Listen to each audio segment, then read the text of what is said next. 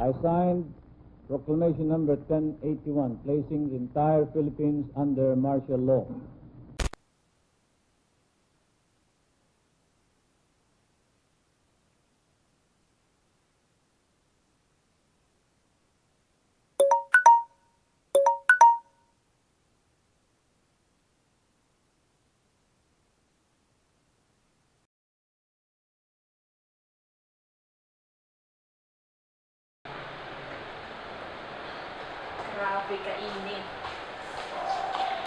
Noy, sandang-anda ka na. Ay, hanep. Bago yan ah. Hindi naman, Vincent. Naisip ko lang, pwede rin baguhin ang mga salitang to yung taong bayan, di ba? Hmm, yap, tingin ko good idea yan. Tara, tapusin mo na yung klase. Sige, una na kayo. Ayusin ko lang to. Papalit rin ako damit. Sige, sige. Sige.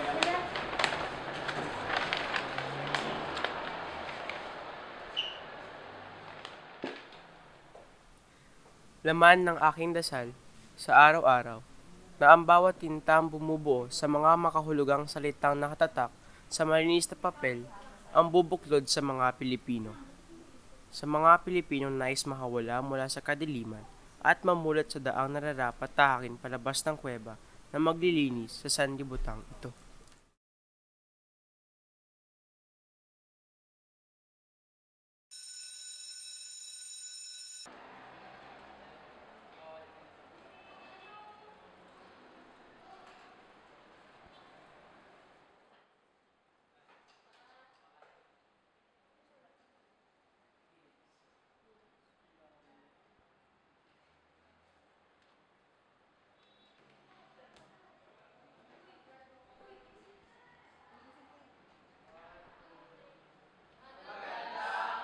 Walang maganda sa umaga.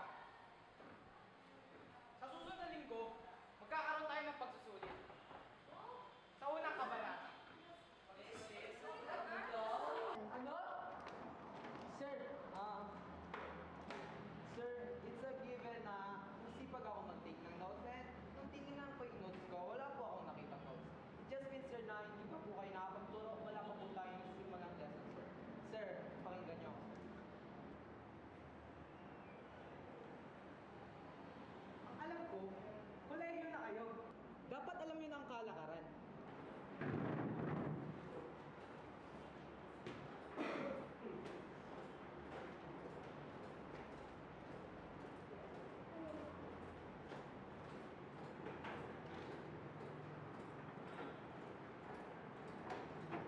Sandang puntos lahat. Unti lang ang pagpipilian. Kung sino man ang unang makakuha ng isang puntos, ay exempted na sa susunod na presentasyon.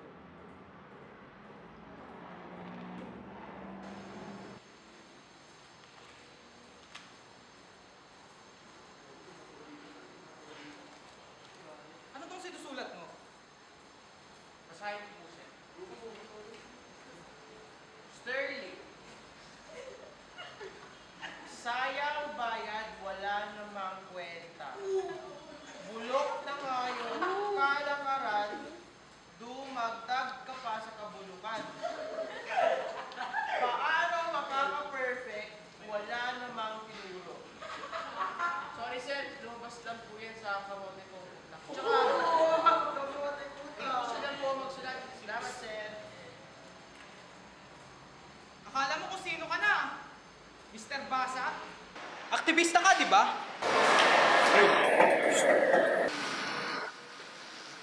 Pasok.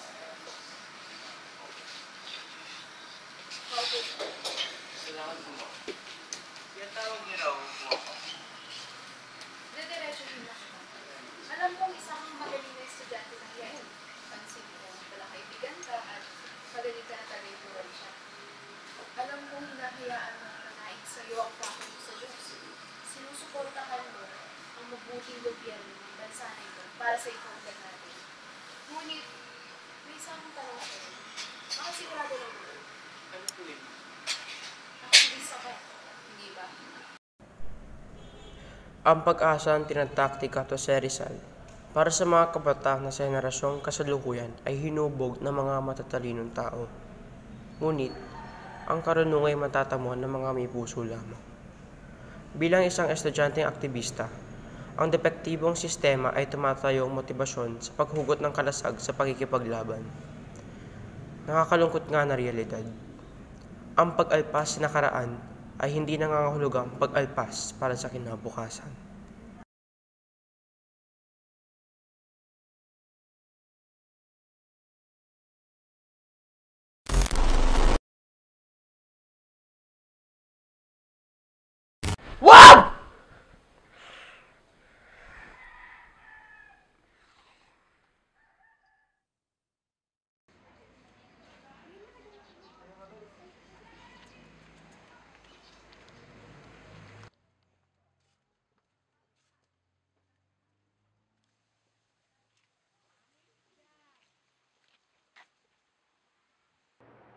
Denise, bumalik ulit. Dalawang beses na gusto ko. Ano nakita mo, Angelo? Mas mali na sa akin ang rason kung ba't nandito ako. Mr. Jose Denise, hindi ko alam kung bakit ako. Malaking parte ng buhay mo pagiging aktivista. Oo, mahirap, pero be selfless, Angelo. Alam ko, misteryoso ngunit may siyensya. Salamat. Siya naman na yun. Alas 5, 8-3, babae. Estudyante. Niyayakap ng mga panaginip ang aking pagtulog sa bawat gabi. Nung una, ayoko. Hindi ko gusto. Wala akong hiling kundi matapos. Iniisip kong maaaring ako may problema. Maaaring utak ko may problema. At sa bilyon tao sa mundo, ako nagkaroon ng ganito.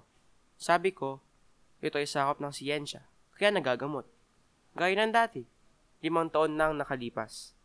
Ngunit, habang tumatagal, ayoko nang gumaling. Ayoko na magpagamot dahil ito ang daan ko sa pagtulong sa kapwa ko, sa bansang sinilangan ko.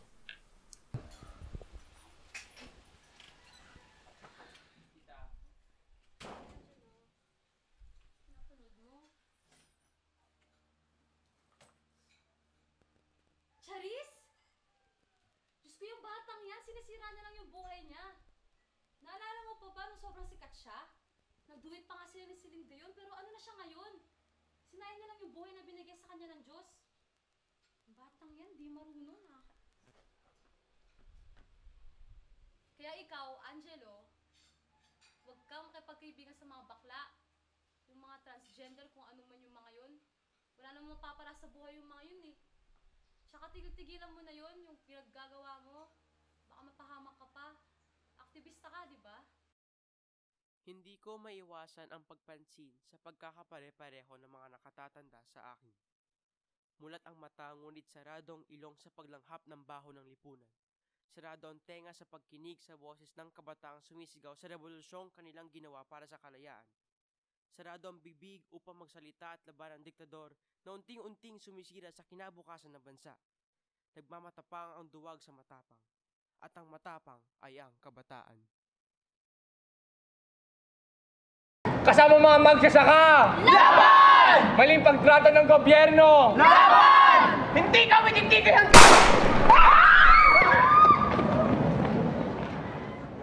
Noli Tangere, Kabanata 25 Ani Pilo sa Potasyo Ang bayan ay hindi dumaraing dahil siya'y pipe.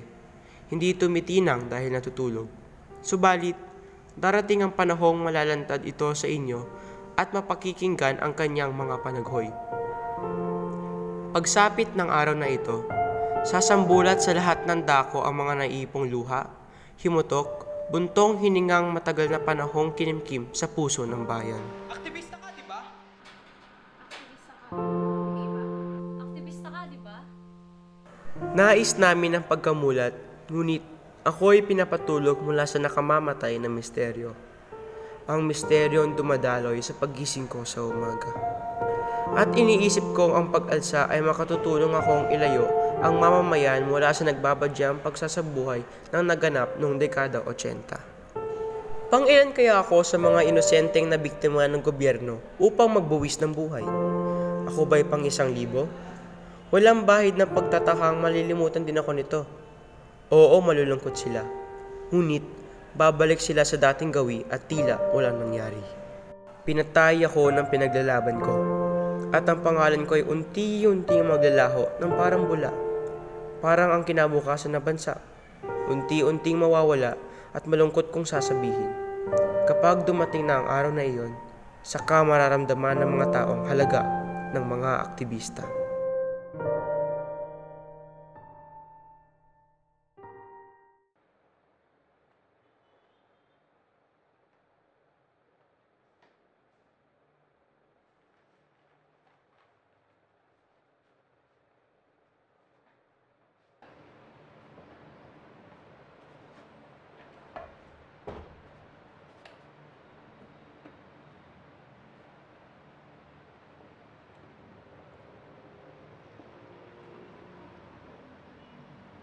Camera mo nga pala ito.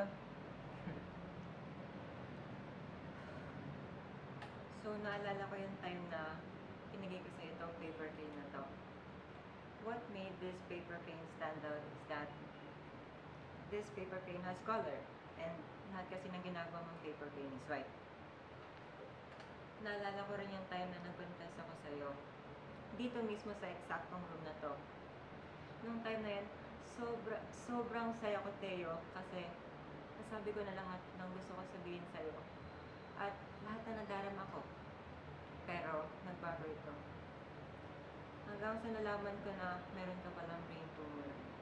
Sobra-sobra ako nag-alala at sobrang sakit sa puso at isipin na baka hindi na kita makasama, baka hindi na kita makausap, at hindi na uli kita makita. Pero, you were given another chance to live with the people you love the most.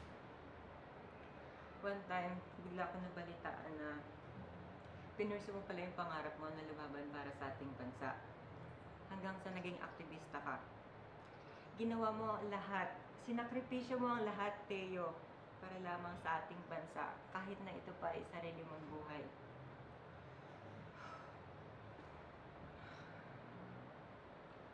Teo, kung akala mo man ay natalo ka, para sa amin, para sa akin, Teo, ay nanalo ka. Mahal na mahal pa rin kita, Angelo, Teo, Pasa.